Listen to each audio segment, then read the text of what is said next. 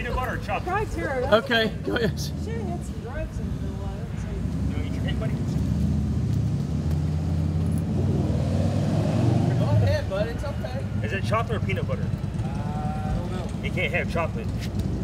Um, here, scrape the, scrape, scrape. There you go, buddy. there you go. See, you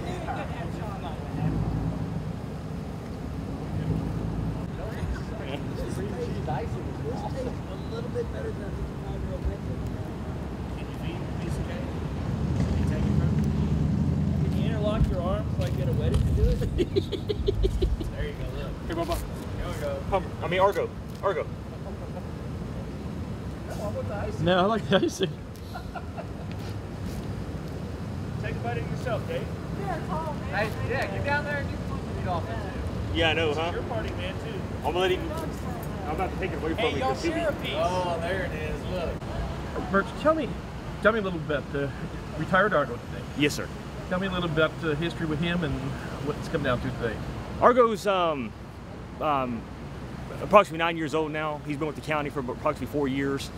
He is a dual-purpose narcotics patrol dog. Um, again, he's been with the county since 2010. Um, he's from imported from Czech Republic. He then goes to Denver, Indiana. That's where I met him at.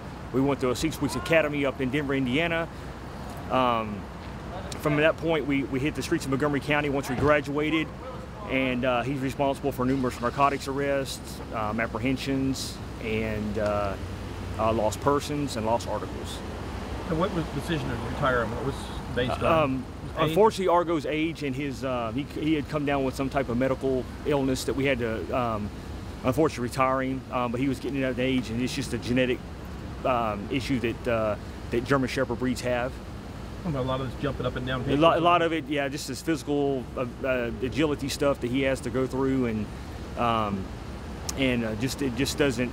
His body just can't take what we do for us uh, that requires a police dog to do anymore. But we're not down a dog. We've got another dog ready. Yes, I got a new dog. His uh, his name is Hummer. He's currently in training right now. All right.